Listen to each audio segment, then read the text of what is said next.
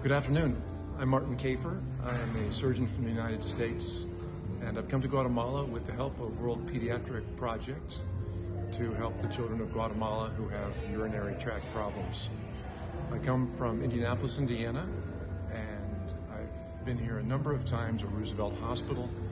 We're going to be operating this week on approximately 30 children with major abnormalities and we're going to see approximately 60 other children in preparation for a future trip. Thank you very much for having us here.